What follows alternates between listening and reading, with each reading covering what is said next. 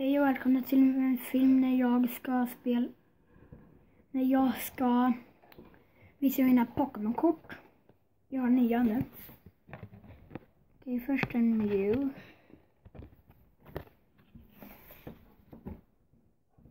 Sen en Dodo.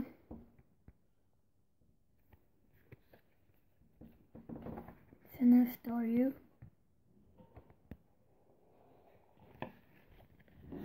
Sen en säl eller sil eller vad den heter.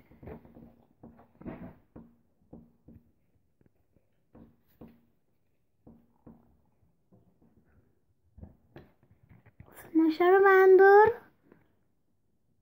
Vad roligt.